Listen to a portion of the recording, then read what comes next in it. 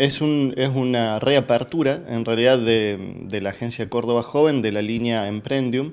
Eh, allí lo que se hace es eh, apoyar con un monto de 200 mil pesos, es un subsidio para proyectos innovadores que impliquen la, generación de una nueva empresa o la consolidación de una empresa a través de un proyecto innovador.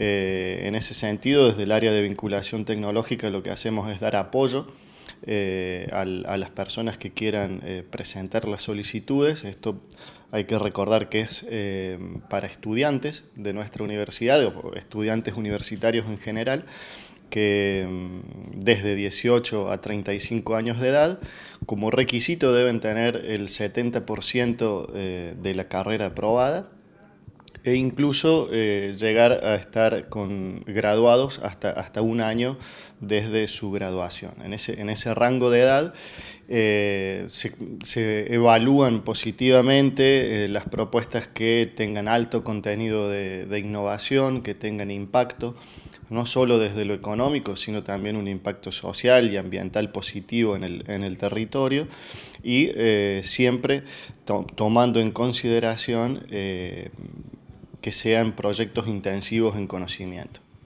¿Hasta cuándo está abierta la convocatoria? La convocatoria está abierta hasta el 4 de septiembre. Nosotros ya eh, hace algunos meses, eh, en la primera edición de este año de, esa convocatoria, presentamos proyectos y nos fue muy bien. Entonces este, tenemos eh, buenas expectativas para presentar nuevas solicitudes y que de ese modo estudiantes de nuestra universidad tengan ese apoyo de la Agencia Córdoba Joven para desarrollar sus proyectos de innovación tecnológica.